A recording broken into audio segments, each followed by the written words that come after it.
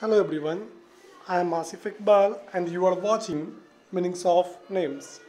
In this video, we are going to know the meaning of identify in Arabic. The meaning of identify in Arabic is al-ta'aruf. Al-ta'aruf. The meaning of identify in Arabic is al-ta'aruf or Al-Ta'aruf. Thanks for watching my video and don't forget to subscribe my channel.